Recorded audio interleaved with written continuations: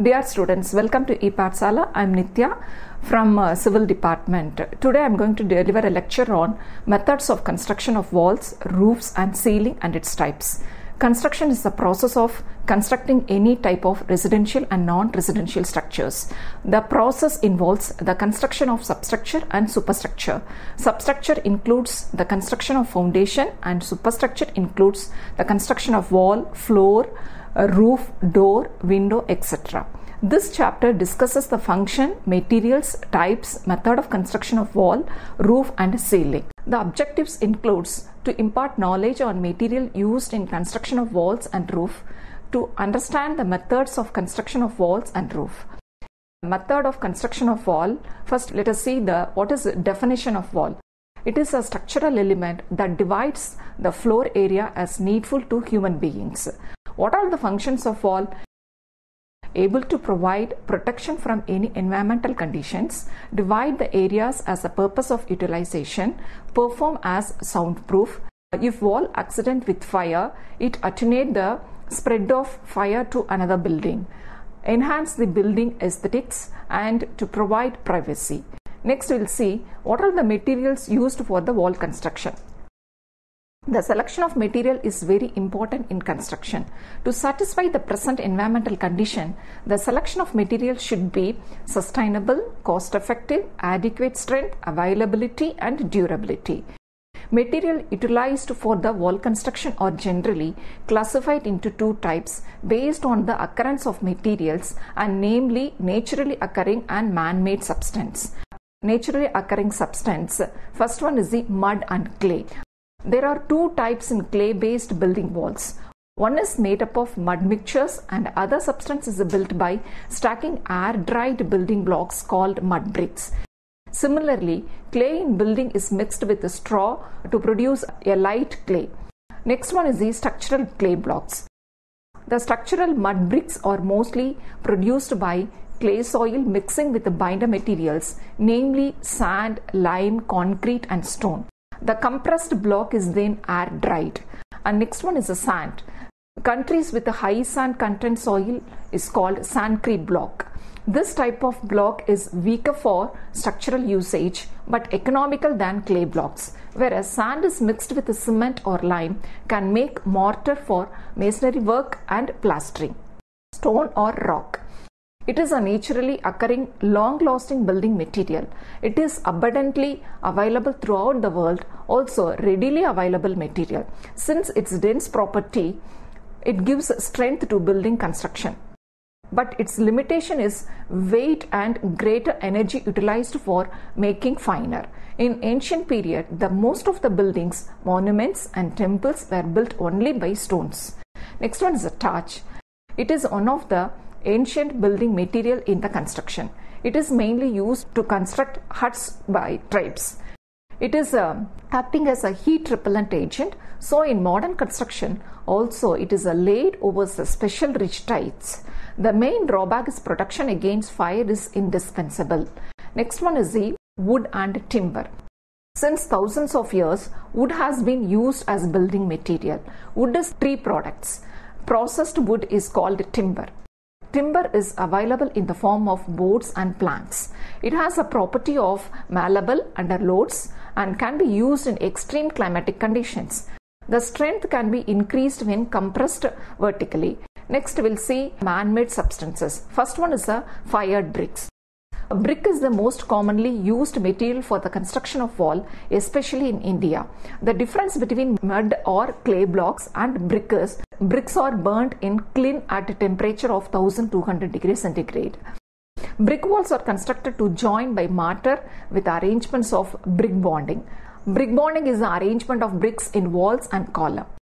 Brick bonding includes stretcher bond, header bond, English bond and Flemish bond etc. Bonding ensures the strength of the building, uniform distribution of loads in the building, and aesthetic appearance.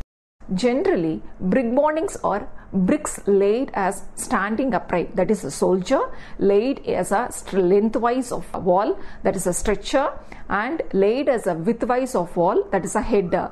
Vertical joint of brick in each course should be avoided.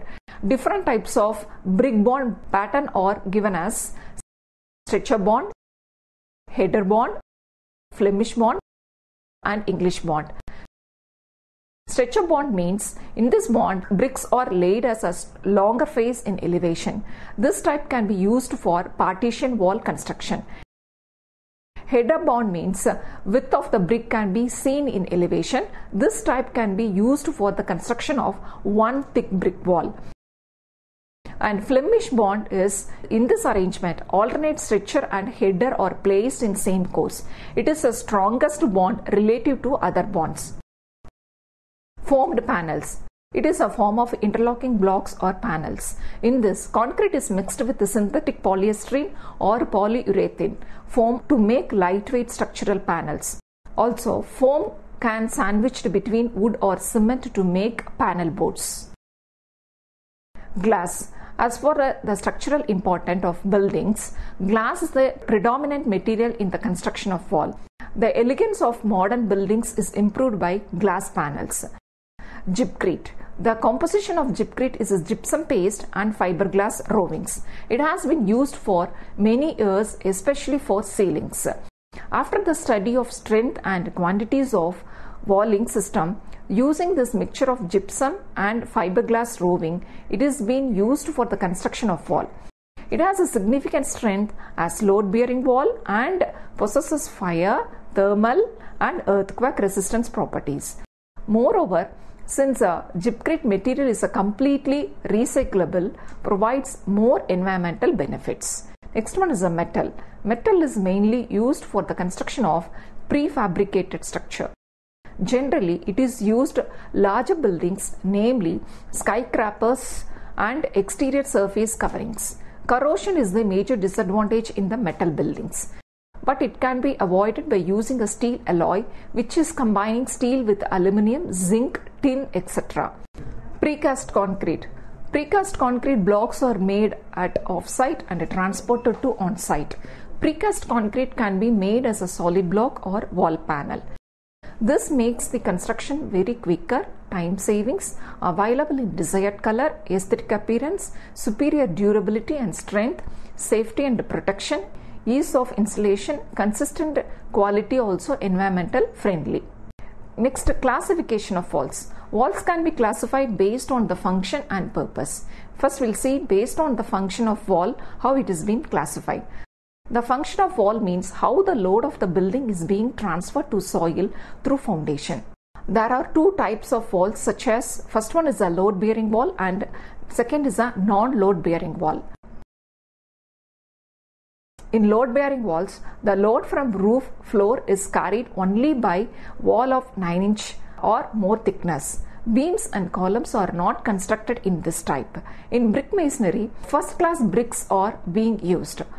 The disadvantages of these buildings are not possible to rise the building more than 2 to 3 stories. Utility space of the building is reduced due to 9 inch thick wall and buildings with Uh, this type are not able to withstand dynamic loads. Non-load bearing walls. Uh, this is said to be framed structure. In framed structure, slab, beam and column are the main structural elements.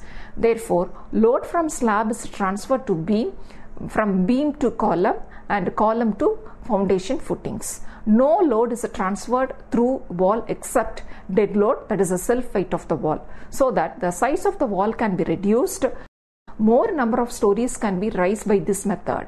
It is the most effective for dynamic loading conditions. Next we'll see what are the classification of walls based on the purpose. That is a buttressing wall. It is the two walls perpendicular to each other, both support each other. Support is being given from base to top. Cavity wall. It is two layer of masonry or constructed separately to prevent the penetration of moisture and it acts as the thermal insulator. Next is a compartment wall. A wall which is constructed as a compartment to protect the speed of smoke, heat and toxic gases. External wall. It is a wall for external enclosure of building. Partition wall. It is a non-load bearing wall which divides the area of the building. Party wall. A wall is constructed on one owner's land but it is used by two or more owners. Separating wall. The wall that separates two lands and it is a common to both owners of the land of adjoining building. Solid wall. This is constructed by only one type of wall material and it does not include a cavity between the external and internal wall. Supported wall. The lateral support is offered wall by combination of buttressing wall, piers or chimneys in conjunction with the floor or roofs. Trombe wall. A building that utilizes a grouping of thermal mass and glazing together and store solar radiation so that it can be used to heat the buildings. Next we'll see what are the occurrence of structural problems in walls. Cracks in internal and external walls. This problem is mainly due to the failure of foundation. These types of cracks can be filled by branded filler materials damp spots appearing on the internal walls. Damp spots and water penetration on walls are caused by number of reasons. One of the reason is condensation. Due to condensation, the warm humid air inside room when hits the wall which causes a moisture in air and deposited on wall. This can be solved by maintaining heat and providing proper ventilation in buildings. Also drying wet cloths should be avoided inside rooms and providing proper ventilation in kitchen. Next is the water penetration. Water finds its ways to enter into the building walls through cavities. Especially water enters from ground to walls. This can be avoided by placing damp proof membranes.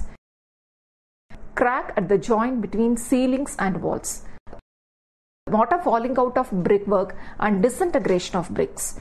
Due to defective construction, this problem is occurred. Spalling of mortar from brick wall is mainly by easy penetration of moisture into wall. This can be avoided by provided with rich mortar. Wall bulging. This is the failure occur in wall ties which hold internal wall and external wall together. Next we'll see method of construction of roof and ceiling. Roof and ceiling are provided in overhead of superstructure which is very important structural element in transferring of load. The main difference between roof and ceiling is the roof is the exterior surface of overhead and ceiling is interior surface of overhead. For example, a three-story building has only one roof but three ceilings. The selection of roof for a building is depending on many factors namely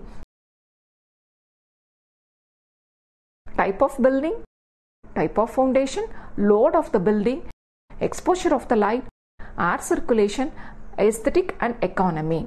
Next we'll see functions of roof and ceiling. It provides a complete enclosure for the building. It carries load. It protects the building from all environmental conditions, namely heat, cold, rain and wind. It controls the diffusion of light, sound, dampness and fire in and out. Next we'll see classification of roof. Generally roof is classified into flat roof and pitched or sloped roof. Flat roof. Flat roof means it is not completely flat. It has a slope less than 10 degree. This, the small inclination is given to drain water. The top roof can be utilized effectively as gardening, place for accommodating heating and cooling units. Also, flat roof design is simple and economical than pitched roof. Next is a sloped roof. There are different types in this. First one is a gable roof. It is also known as a pitched roof. Roof slope is given in two directions. It provides more spacious, simple in design and construction. But in this type of roof is not suitable for the high wind and hurricane area. Next is a hip roof. Roof slope is given in all four directions. All four sides come together and form a ridge. It is a more durable in any climatic conditions whereas design is complex and expensive. Mansard roof. It is known as a French roof. This is also four-sided slope but double slope on each side is provided so as to form a low pitched roof. This type of roof tends style and aesthetic appeal to the building. Next is a skillion roof. It is also known as a shed roof with a single slope. in which one wall is taller and another is shorter. This type is mostly applied for home additions like porches and shed. It is not suitable for more wind prone areas. Jerkin head roof. It is a combination of gable and hip roof. This type of roof is constructed as a body of gable roof and end with hip roof.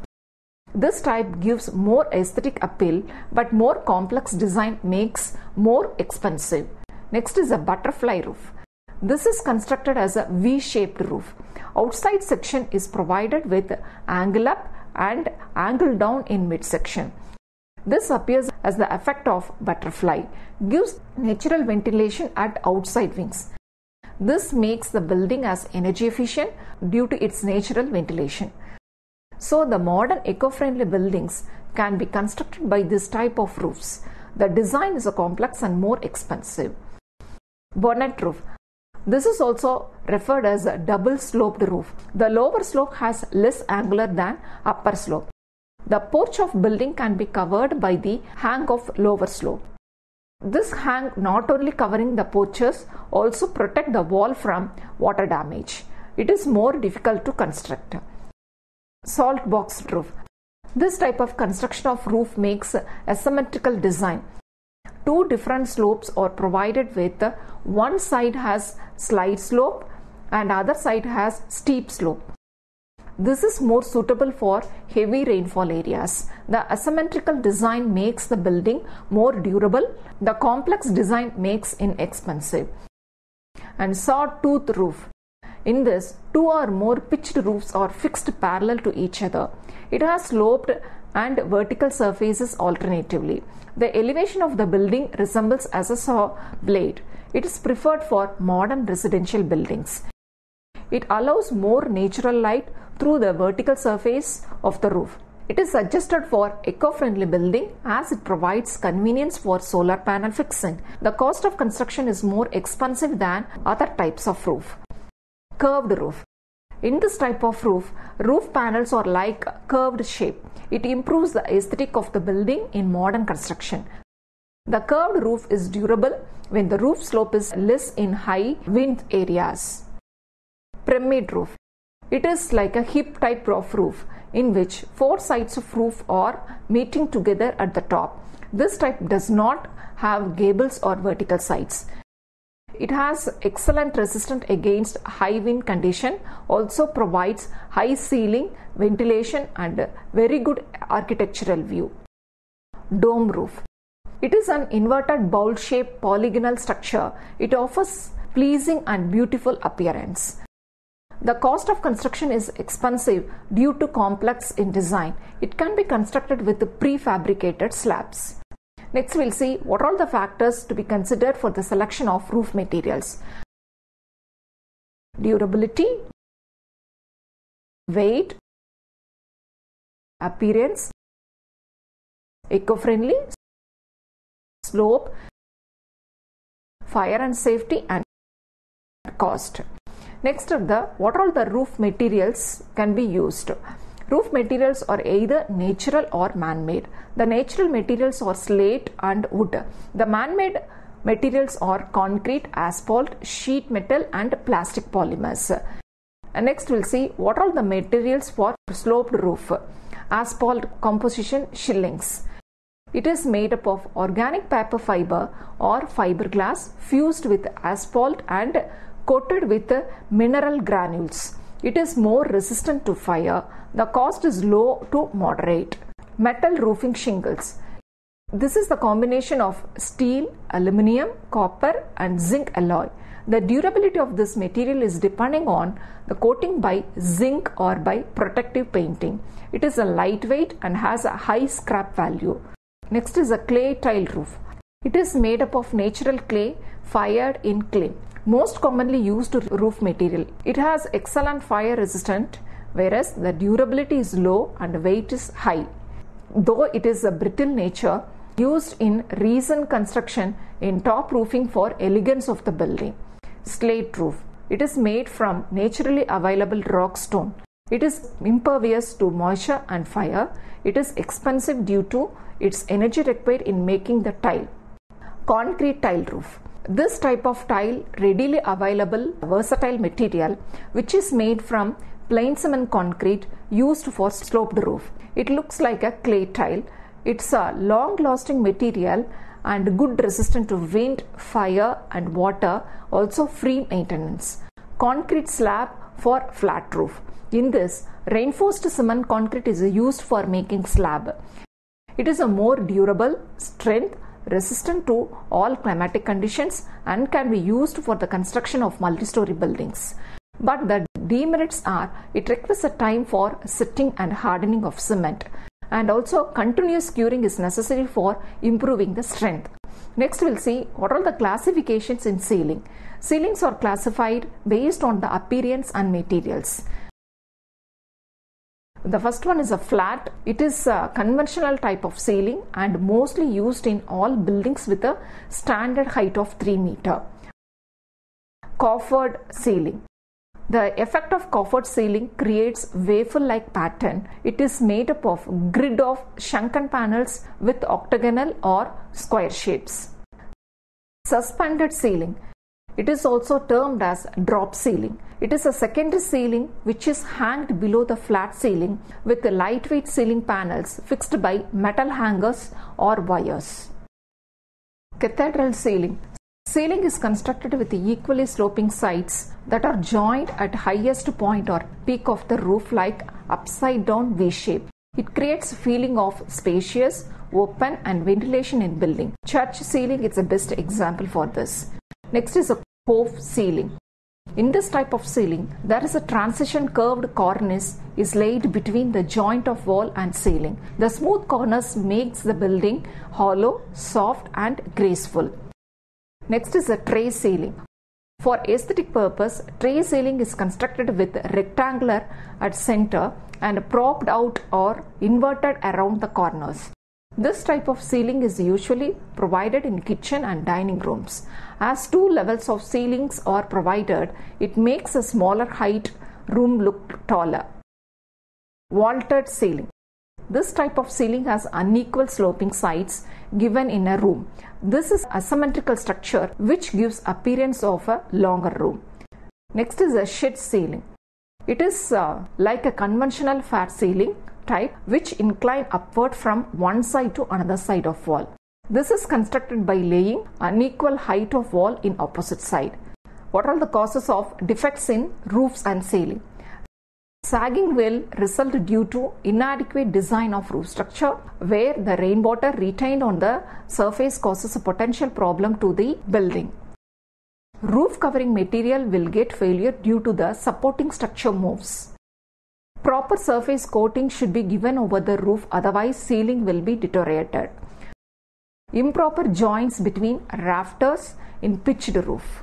Finally, we'll come to the conclusion of this session.